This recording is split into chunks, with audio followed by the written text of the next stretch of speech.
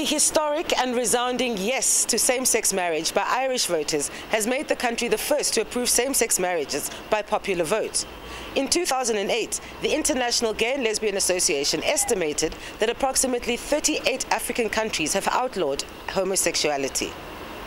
I think at this point in time, the lawmakers are the people's representatives, and I think it's important for us to reflect on it. And as an organization, Outright Namibia, at this point in time, it's quite dangerous to be putting forth the issue about same-sex marriages because they are very basic fundamental rights that are being violated in this country for us as gay and lesbian people, bisexual and transgendered people. So at this point, it's the issue about the right to access to services and the right to be able to access the justice services, and for us to be able to also have the right to information. With the exception of South Africa, the rights of lesbian, gay, bisexual and transgender people in the rest of Africa are somewhat limited point in time, police stations, healthcare services are bringing out their personal prejudice and making our lives miserable. And I think same-sex marriages should be on the agenda, but it's not a priority for us in the movement right now. We need to be able to know I'm able to freely walk on the street with no questions and not people looking at me and questioning the person that I am, but freely to be able to hold my partner's hand and know that I belong to a family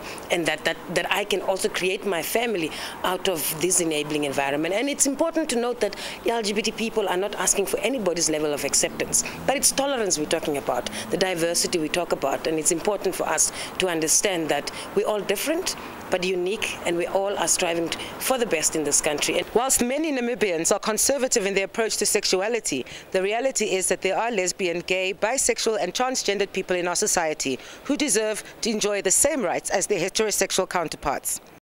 We would love to hear your opinion and would like to encourage you to participate in our poll question that will be aired later on in the bulletin. For the News on One, I'm Erica Gebhardt.